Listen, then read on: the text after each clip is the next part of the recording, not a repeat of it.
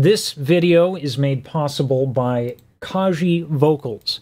Uh, we've done a lot of live streaming. It hasn't always gone too well for the channel, uh, but with Kaji's help, we're able to do that again. Uh, stay tuned to the end of the video if you care to know where we live stream.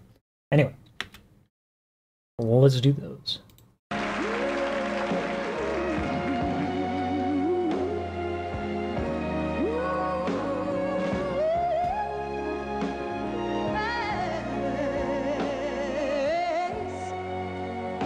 I love this change in texture. I love this. Super deep, super rich. Compared that to this.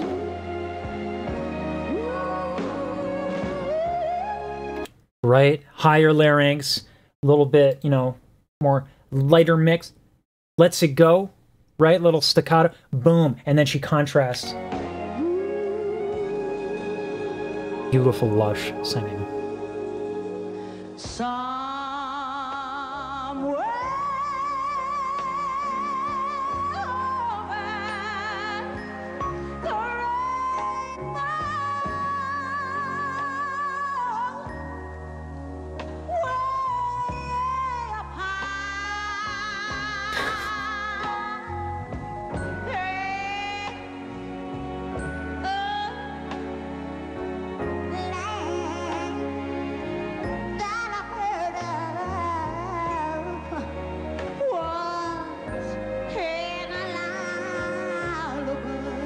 It's like listening to an amazing trumpet player. This is really cool.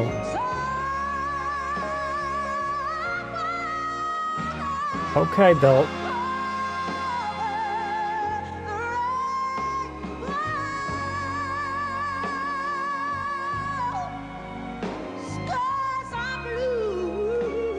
Okay. Okay, I know everyone gets mad when I stop a lot, but this is really hard not to talk about right here, right now. So, longer lines with belting, uh, generally more difficult. Um, belting is kind of precarious by nature, and um, sustaining uh, one note is not so bad, but uh, because the folds get so thick during a belt, moving them around is much more difficult. And it's flawless.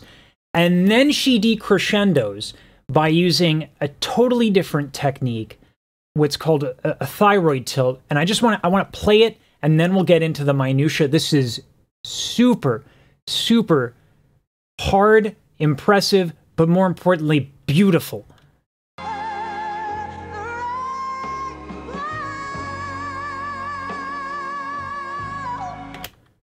Okay, this is why that's this is why this. I promise you, this this is going to be as as hip as as a as a Fonzie busting a karaoke machine. Okay, this is this is how cool this is. So what we have here, this is the thyroid cartilage. This is the cricoid cartilage. We're going to focus on this one first. This is this is my arrow. I'm on my A game today. The cricoid cartilage for a belt. This is what's responsible for belting. It tilts upwards and brings all of this closer as a result. This is what makes belting possible. What happens is that the uh, vocal folds right here become shorter and fatter. So this, these are the vocal folds. As the cricoid cartilage comes in, boom, right? That's, think of that as gone, and then these are way, way, way, way, way thicker. Now, the problem with belting, the risk of belting, is that if you put too much air behind this, pressure will build up in such a way that the folds will violently blow open and then slam together on the way down. So it's very, very, very difficult to do well as far as breath is concerned. But because it's freaking Patti, she can move around, which is already difficult, right? The thicker, the fatter the folds are, the harder they are to move around. She moves around seamlessly and then does something super, super cool. So not only can you tilt the cricoid cartilage, you can tilt the thyroid cartilage, which stretches this way. As it stretches this way, the folds stretch with it, they're attached. And so what this does is it tightens and elongates the fold, right? It allows you to go higher, it adds a lush sound. This is how you do pretty much any classical singing is going to do this. But no. No, no, no, we're not done. But wait. There's more. Oh, yep, yep, yep, yep. There we go. That's what I wanted. It's dramatic, so I wanted to get a close up. Anyway, what she's doing right now is she is belting, cricoid cartilage is tilted upwards, and then as she goes through that last line, thyroid cartilage tilts this way, cricoid untilts, and then she decrescendos off of that. This woman just won a gold medal in the vocal Olympics. These larynx shenanigans are next level. Also, by the way, she came to my store once when I was working at Trader Joe's. Uh, super nice lady. So, yeah, she's she's she's great. Like super nice. Anyway.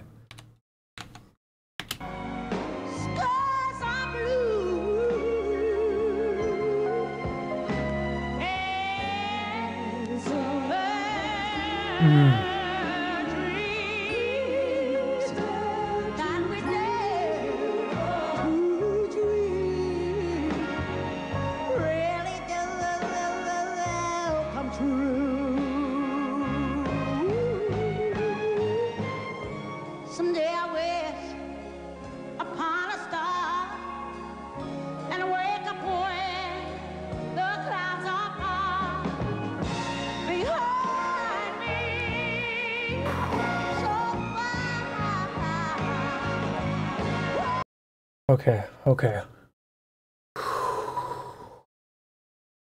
If there are any Rachelle Ferrell fans watching this, you're probably seeing something that's quite familiar. Um, but very few singers take this idea to the extreme that we're seeing. So this is the vocal track. Uh, we're not going to get too complicated. This is a very kind of involved graph, but don't worry about it. All right. All you need to know is that this is the tongue, this is the soft palate, and these are the teeth. For the most part, resonance, as far as we're concerned, we're going to call vowels, right? What we call vowels are created using primarily these. There is more involved, but like pretty insignificant. Uh, this is the primary uh, vehicle in which vowels are formed. So what's amazing to me is that in a single like in in a very short period of time she is changing her tone with vowels and other things. Let's talk about the vowels first.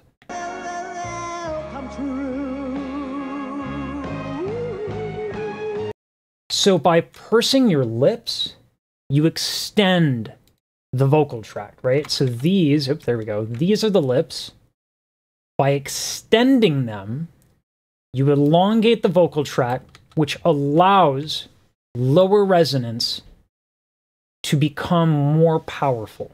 Let me show you exactly what I mean. So, extending the vocal tract. Here's the proof in the pudding. This is called a spectrogram. Now, what a spectrogram does is it will tell you how high the frequencies are over time and it will light up. The, the brighter the spectrogram, the louder that specific frequency is. So you can see the frequencies right there. So let's do a quick experiment. So this is the vowel morph, if you will, for lack of a better term, that we just did. Okay. Obviously, the brighter vowels, we're seeing higher frequencies, but take a look at this. This is what we want to know. These lower frequencies are getting significantly brighter the more I purse my lips. So when we look at Patti, here's what we're seeing. Now, the, the fidelity of this video definitely leaves something to be desired, but, oops, there we go. But you can see she's rounding her lips, and this happens in the beginning of the phrase, which is uh, pretty dope arenas, right? So she's doing that right here.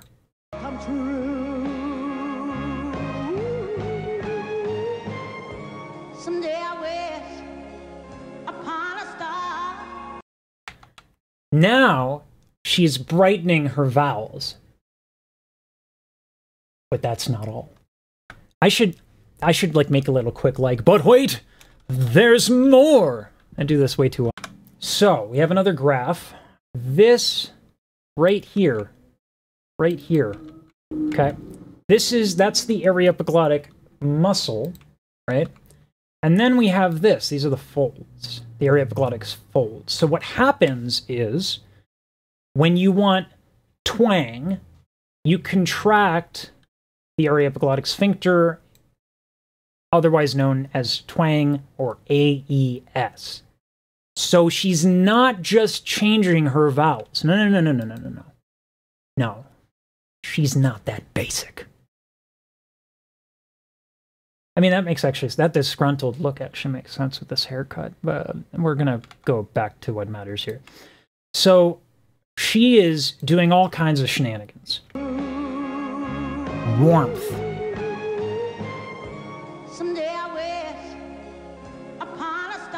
Twang. Brightness.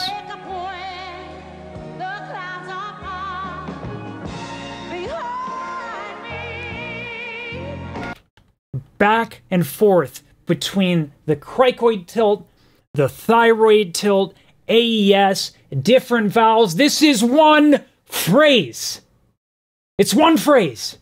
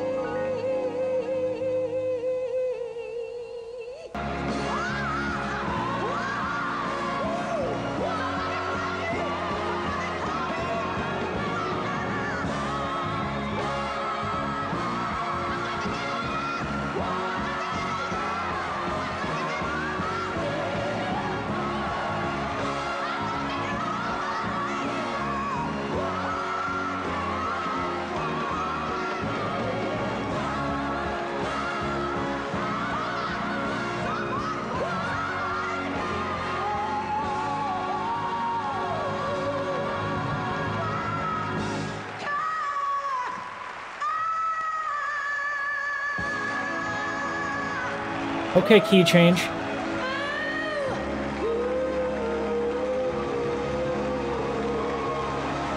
Of course, they have to end on the ninth chord because that's jazz. I I th I thought it was going to end right here.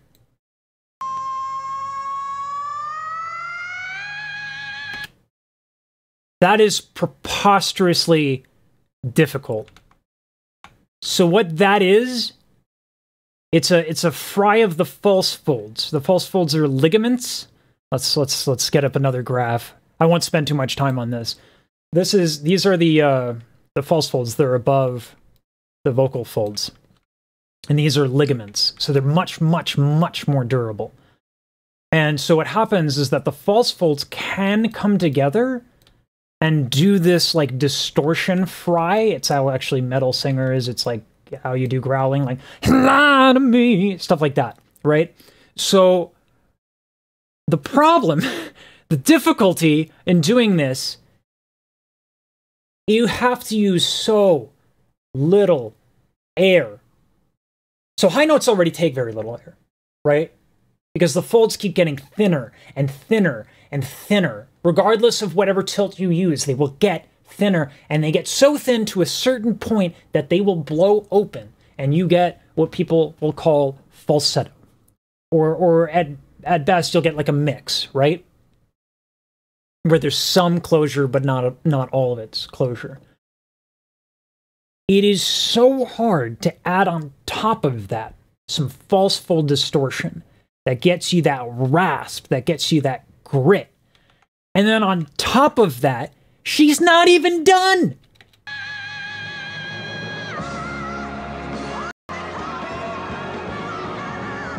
The courage, the strength, the charisma that you need to be able to do this, like this has to be so real. You can't just start jumping around, right? It has to be in you to do this. Now, there's something I really, really, really want to say. This, this is this is something that comes up a lot. I don't know much about Patti and and her her upbringing, but I'll, uh, this this happens a lot when I cover gospel or or R and B or uh, singing uh, styles where the majority of singers uh, went through the process of growing up in, in a black church. And I'll, I'll say this in response to the, the, the comments that I know will follow. Uh, is it, did Patti LaBelle get formal training? Probably not. Is Patti LaBelle thinking about any of this as she is going through this performance? Absolutely not. She's not like, well, if I just, you know, if I just, I'm going to turn this knob and push this, like, no. Does Tiger Woods think about his golf swing? Absolutely not. That's the practice room. Patti has got it on lock. All of these things that I just talked about are complicated enough when you learn to isolate them. Let alone do all of this, let alone do all of this as though it's nothing. You cannot replace being around excellent singers when you're growing up in a community that celebrates great singing. That's an education in and of itself. And you can't replace that. So I just want to make that a statement. I don't want anyone coming to me and like, can you uh, teach me how to sound like Patti? No, no, I can't do it. No one can do it. Uh, yeah.